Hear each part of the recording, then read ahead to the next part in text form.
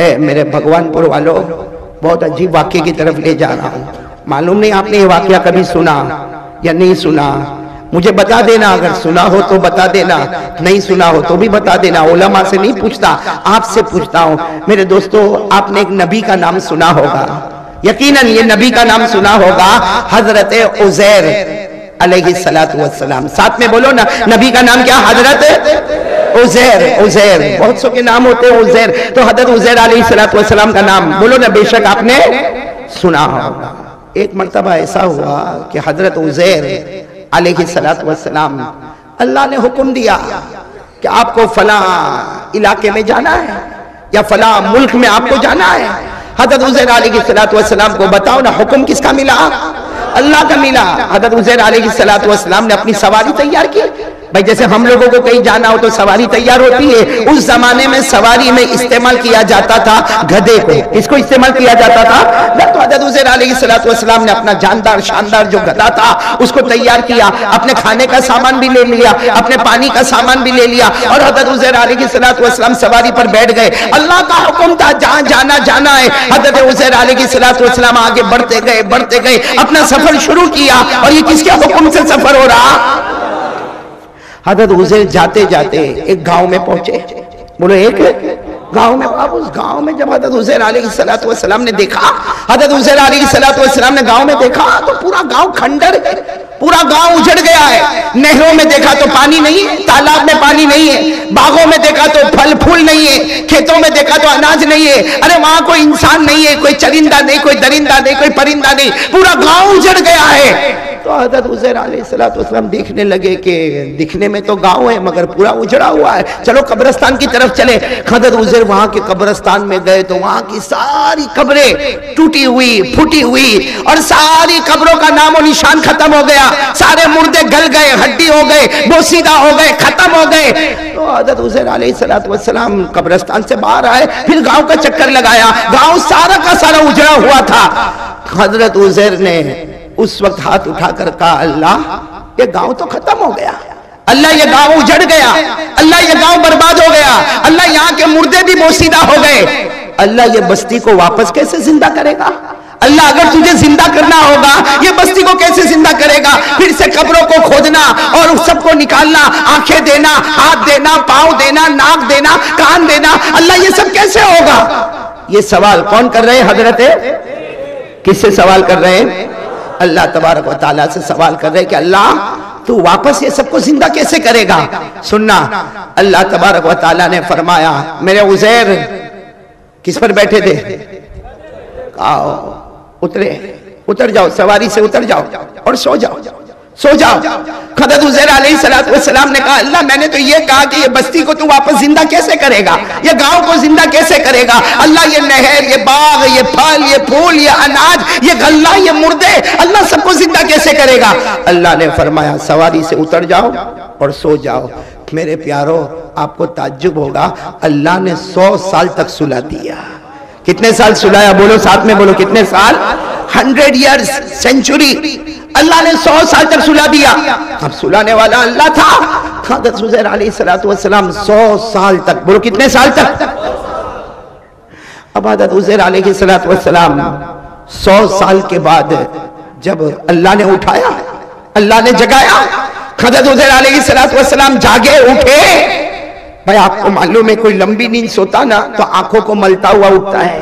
तो हज़रत हुसैन भी आँखों को मलते हुए उठे, इधर उधर देखने लगे। अल्लाह तबारक ने फरमाया, कितना सोए? कितना सोए? तो हज़रत हुसैन अलैहिस्सलाम को थोड़ी मालूम था कि मैं सौ साल सोया। हज़रत हुसैन अलैहिस्सलाम ने इधर उधर देखा, कहा, अल्लाह, ऐसा लगता मैं बारह घंटे सो गया। नहीं नहीं, अल्लाह, मैं चौबीस घंटे सो गया। अल्लाह ने फरमाया, मेरे नबी, बारह घंटे, चौबीस घंटे की बात मत करो। सौ साल के बाद तुम उठे हो, बोलो, सुभान कितने साल के बाद उठे हो? हज़रत उजैर ने कहा, अल्लाह सौ साल हो गए, अल्लाह सौ साल हो गए। अल्लाह ने कहा, जरा जाके देखो। अब हज़रत हुसैन अलैहिस्सलाम मार्केट में निकले। अरे बोलो, मार्केट में तो हज़रत हुसैन सोचने लगे कि मैं सोया था। उस वक्त तो ये गाँव उजड़ा हुआ था कि यहाँ तो मार्केट भी लगा हुआ है, यहाँ इमारतें भी है, यहाँ बाग भी है, यहाँ खेत भी है, यहाँ यहाँ अच्छा खासा कब्रस्तान भी है और यहाँ सारे लोग है। एक दुकान पर गए। एक दुकान पर गए और कुछ खाना मांगा होगा। बोलो, क्या मांगा?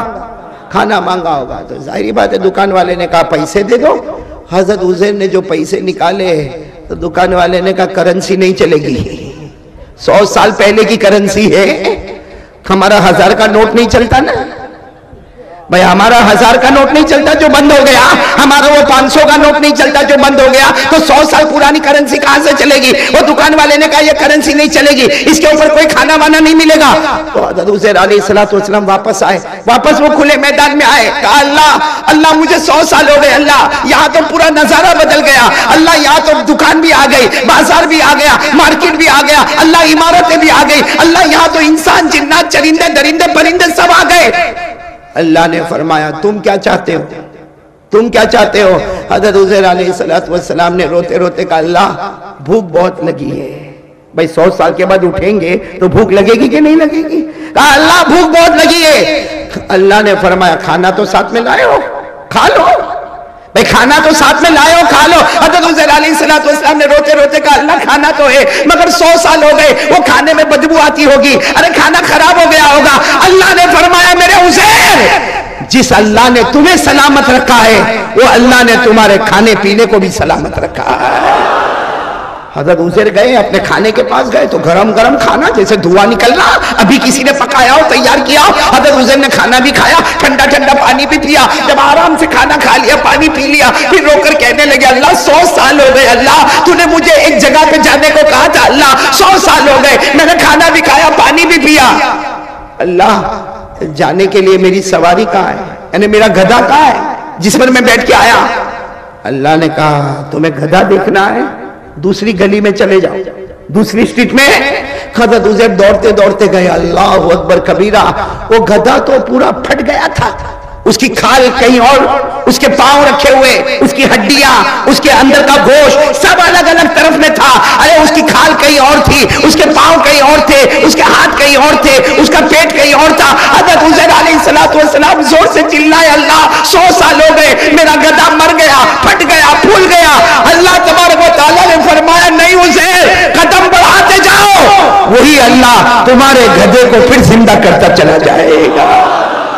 हज़रत उजैर आगे गए। बोलो सुबह अल्लाह बोलो हज़रत उजैर आगे गए और आगे गए।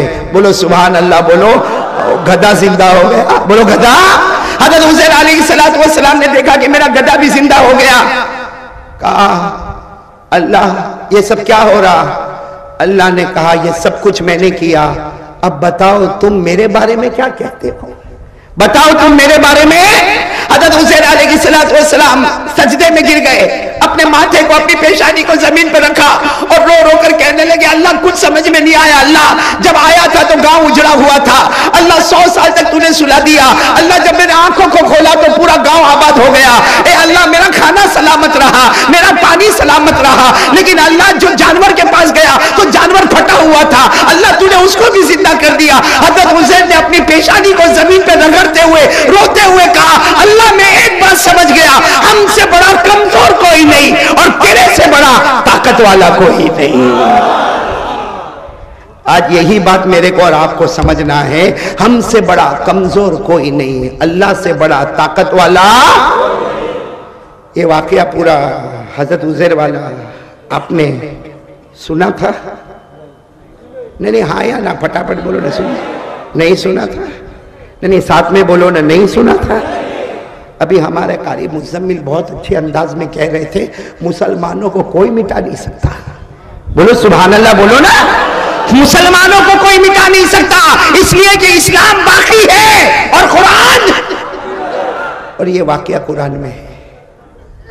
जो वाक्य मैंने बताया वो कुरान में है।